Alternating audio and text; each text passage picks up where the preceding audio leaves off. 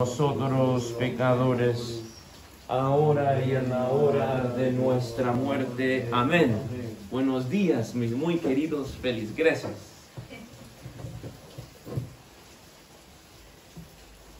Am, hoy ah, estamos en Génesis, eh, capítulo 4, en el versículo 1 en adelante.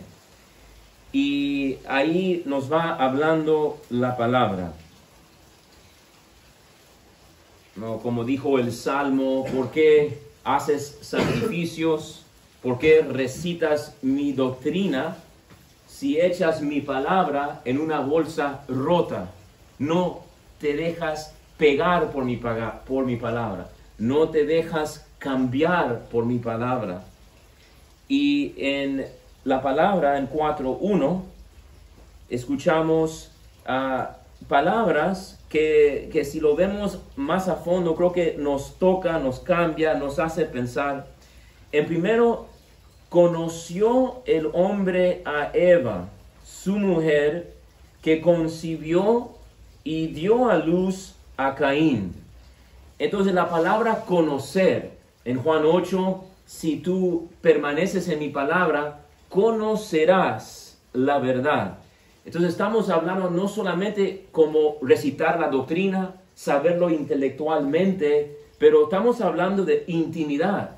En, el Evangelio, en Marcos, escuchamos que desde la intimidad Él hace un gemido, ¿no? Cuando ve la, la terquedad de los fariseos. Y el conocer es poder asimilar, es una intimidad, e- es una unión, es una comunión. Y entonces conocer es como una experiencia, ¿no? Una experiencia. Y dice en Juan 8, si permaneces en mi palabra, continúas en mi palabra. Es decir, quizás en un momento no lo vas a conocer todavía, solamente va a ser una idea. ¿Cuántas personas, incluido nosotros, incluido a mí, yo, necesito escuchar la voz que me diga, soy precioso, soy amado, bien hecho, hijo mío, eres mío. ¿Cuántas veces buscamos esa palabra en el mundo? Lo buscamos en personas, lo buscamos en papá y mamá, lo buscamos en los compañeros. Y la verdad es que Dios ya nos lo ha dicho desde la cruz, desde el comienzo, desde que antes que tú naciera, yo te conocía. Desde antes que tú naciste, yo ya te consagré en el vientre. Yo ya te miraba, yo ya te amaba. Y no hay un momento que yo no te he deseado, no te he amado, no te he querido, no, no, te, no me he admirado de ti.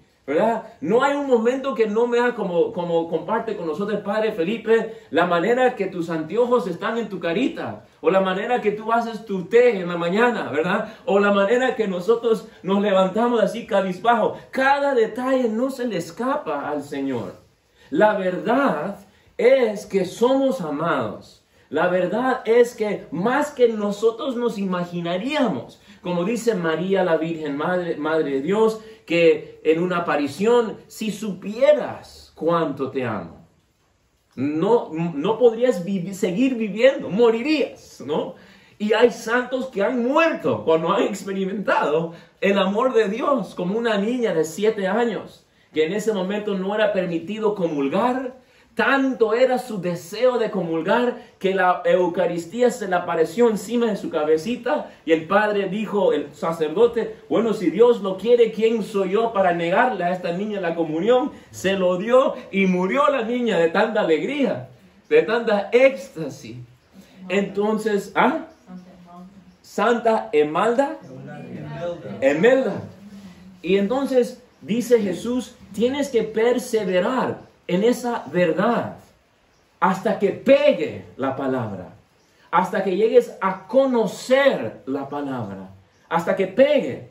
Eso me tocó cuando estaba preparando para la homilía, que en Juan 8 está hablando Jesús a los fariseos nuevamente. En Marcos hoy hemos visto, pero en Juan 8, en el capítulo 8, perdón, en el versículo 10, 37, está hablando como Dios le habló a, a Caín, ¿no? Que sabe que él está buscando matar a su hermano. Y entonces dice Jesús, ya sé que ustedes son descendencia de Abraham. Ya sé que tienes de mamá y papá Adán y Eva, pero tratan de matarme porque mi palabra no prende en ustedes. Recitan mi doctrina, lo conocen, lo dicen todos los días, pero no prende mi palabra. Y entonces, qué importante es la palabra conocer. Y dice Jesús, si continúas en mi palabra y creen, creyendo en mi palabra, creyendo que es verdad, conocerás la verdad. Y la verdad, verdad te hará libre. El momento que tú y yo nos damos cuenta que somos amados y que no solamente son palabras, pero que es la palabra que me habla, ese día es mi conversión. Ese día es el cambio de mi vida. Y yo podría haber dicho todos los días a una persona, no, uh, levántate más temprano, limpia tu cuarto, anda a ayudar a los pobres, pero nada, como en un saco roto. Pero el momento que conocen el amor de Dios, ya nadie tiene que decirle, ellos mismos limpian su cuarto, arreglan su situación y están en primera fila en la misa para recibir a la Eucaristía. Cuando experimentan el amor de Dios. Entonces, regresamos. Ahí solo fue la primer, el primer versículo de Génesis que hemos estado leyendo. Conoció el hombre a Eva, su mujer. Entonces, conocer es intimidad, es experimentar, es, eh, eh, es algo tan íntimo como el acto sexual, porque podrían haber dicho, bueno, tuvo relaciones, pero dice, conoció, para que nos dé la perspectiva bíblica de esa palabra. Y entonces, ¿qué pasó? Dio a luz, da fruto ese conocer. Y me encanta la palabra dio a luz y a Caín. No, como dijo hermano José Félix Ranelli, los, el día que mis ojos vieron la luz, he adquirido un varón con el favor de Yahvé. Qué bello escuchar. Un hijo no es una maldición. Un hijo no es una carga. Un hijo, un hijo no es un estorbo. Un hijo no es el fin de mi vida. La palabra me dice, eh, por el favor de Yahvé, es un regalo de Dios, es un favor de Yahvé, es dar a luz, dar a luz. Y me encanta siempre, algunos conocemos esta persona en Lima, que ella, no voy a decir su nombre, pero ella fue violada. Y ella quedó embarazada por su violación. Y Creo que su bebé se llama, aquí quizás algunos se recordarán quién es, Josefa, creo que ese es su nombre. Le puso Josefa, honor a San José. Y ah, ¿cuántos dicen que, bueno, el, el aborto, aunque sea cuando esté violada, para que no tenga que vivir con esa carga, mirar el bebé y se pone triste y se recuerda el mal que le pasó? Qué mentira y qué falsedad. Porque le hablas a la mamá de Josefa y le preguntas, ¿qué piensas de tu hijita Josefa? de mis oídos le he escuchado, con mis ojos le he visto. Me dice, Padre, ella es mi vida. Ella es mi vida. Entonces, ¿cómo la palabra de Dios nos hace saber que una vida es el favor de Yahvé? Es dar a luz al mundo. Y qué lindo que Dios puede sacar algo tan bueno de algo tan malo. Bueno, creo que ¿y solo me queda un minuto. Me queda un minuto. Ok, un minuto me queda. Con este minuto, ¿qué, les, ¿qué de todo lo que quería decir le digo? Una cosa le digo.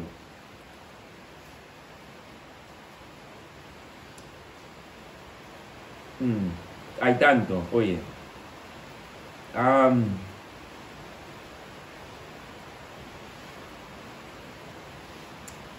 en el versículo 7 y el 6, perdón, me encanta el diálogo que Dios tiene con Caín. Dice, ¿por qué andas irritado? ¿Y por qué se ha abatido tu rostro?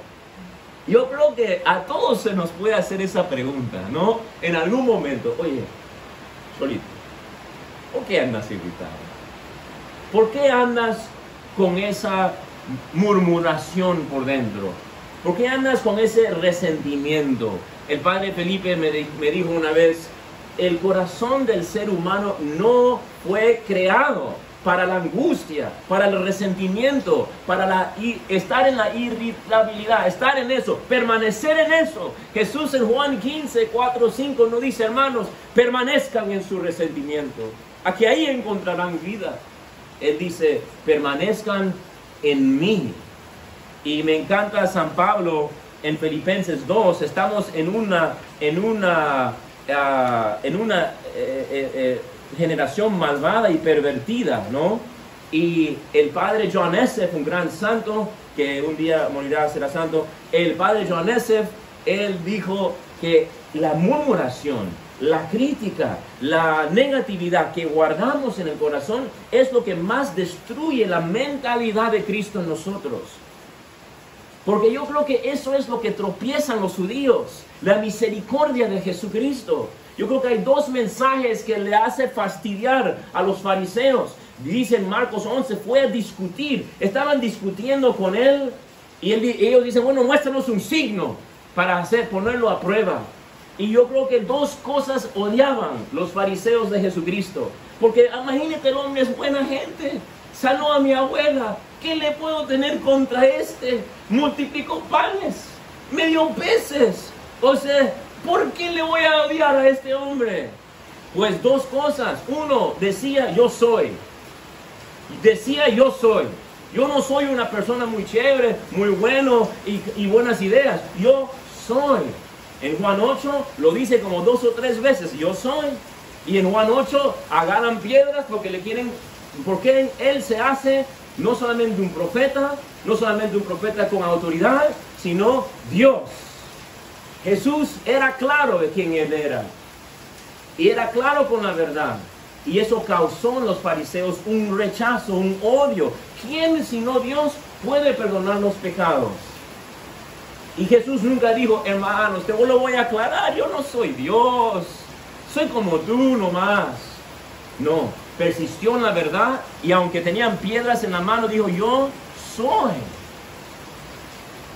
Y la segunda cosa, dice en 1 Corintios 1, 18 a 25, que la cruz, los judíos buscan un signo, los griegos buscan sabiduría y nosotros predicamos a Cristo crucificado. Y Mateo 16, Jesús le dice a sus apóstoles, hermanos, me van a matar, hermanitos. Pero dice también, pero en el tercer día voy a resucitar, no se preocupen. Y dice, vendré el Hijo del Hombre y ahí voy a repagar a todos. Pero parece que la única, esos no captaron la parte de resurrección. La parte que voy a estar en la gloria. La parte que voy a regresar y a juzgar a todos. Solo de que se quedaron, me van a crucificar. Y entonces Pedro dice, no, así no. Eso no debe ser. Y dice San Pablo, es tontería para los judíos. Entonces esos dos mensajes de Jesús, yo soy Dios y la, la cruz, que en otras palabras es misericordia. si ustedes supieran, deseo misericordia y no sacrificio. Y que a través de mi cruz, ya no, ya no porque cumples la ley así, pero por la sangre mía que voy a ofrecer por ti, hasta el judío, perdón, hasta el gentil, hasta el samaritano, todos van a poder entrar al reino de los cielos, hasta la prostituta. Y eso no aguantaba el fariseo y iba contra él.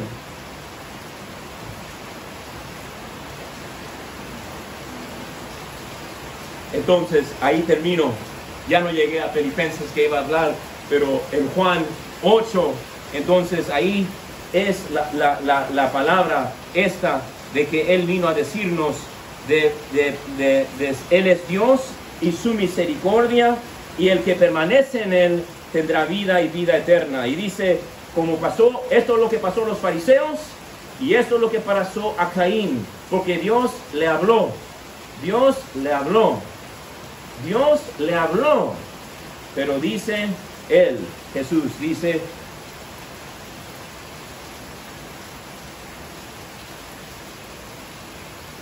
si digo la verdad, ¿por qué no me creen? El que es el Dios, el, el que es de Dios, escucha las palabras de Dios. Ustedes no las escuchan porque no son de Dios. Y en el versículo 52, si alguno guarda mi palabra, no probará la muerte jamás. Entonces cuando vemos odio en el mundo, cuando vemos resentimiento en el mundo, cuando vemos que los malos ganan, entre comillas, guardemos la palabra en el corazón. Y como dice San Pablo, seremos luz en medio de esta perversidad. Seremos vida en medio de la muerte. Seremos río de bendición en un mar de maldición. Y el bien siempre gana.